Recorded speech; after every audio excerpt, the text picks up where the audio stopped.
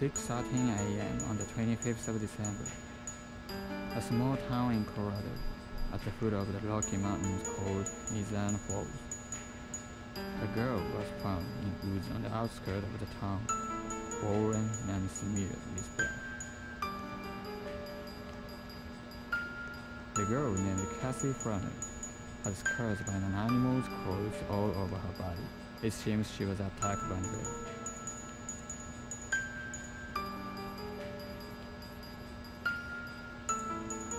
Thereafter 7 a.m. on the same day, another girl, Emma Rowland, Cassie's high school classmate, is missing, and her mother has asked police to search her. The state police started the investigation on relevance between the two incidents. At the time of Christmas, it is nothing else than tragedy that struck a peaceful town of a population of 2,000.